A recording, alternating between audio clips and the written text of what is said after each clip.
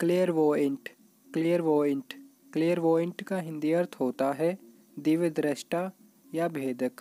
आइए दोस्तों, आज हम इस वर्ड को समझेंगे कुछ एग्ज़ाम्पल के साथ। A clairvoyant who can see the effect upon the higher bodies of the various इसका हिंदी अर्थ होता है एक भेदक जो विभिन्न के उच्च निकायों पर प्रभाव देख सकता है। इसी तरह दूसरा और आखिरी एग्ज़ाम्पल है हमारा one who is clairvoyant will readily accept to the truth of this great इसका हिंदी अर्थ होता है, जो वेदक है, वो इस महान की सच्चाई को आसानी से स्वीकार कर लेगा।